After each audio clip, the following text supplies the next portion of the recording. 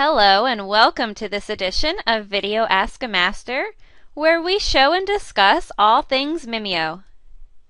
We had a wonderful question come in wondering, do I have to calibrate every time I want to use my Mimio?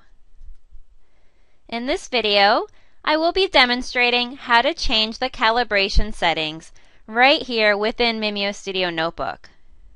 Now if your projector is mounted, therefore it's not moving on a daily basis, then I would definitely recommend that you change your calibration settings to use a previous calibration. That way you don't have to calibrate each time you want to use your Mimio.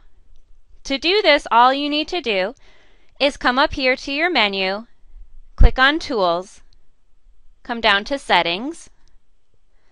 On the left hand side you want to click on Interactive and right here you have a few options.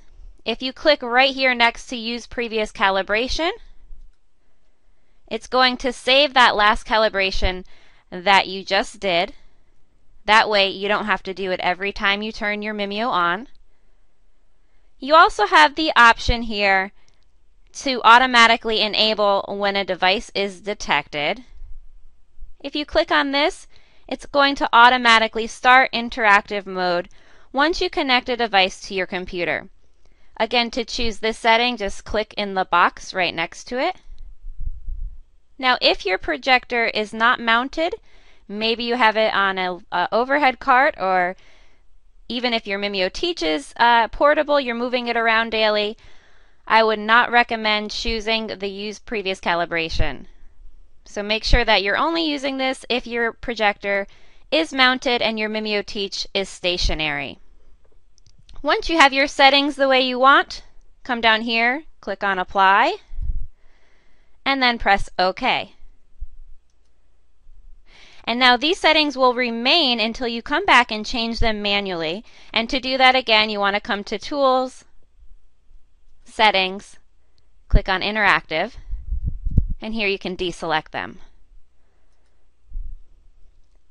Now while we're talking about settings here, let me quickly show you how to check for the MimioStudio software update. So click on Tools, come down to Settings once again. This time on the left hand side you're going to click on Software Update. And here you are able to check for updates.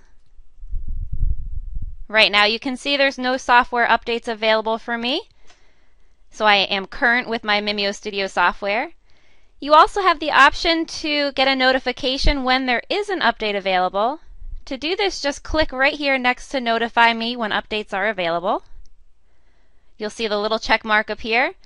Be sure to then click on apply and now press OK.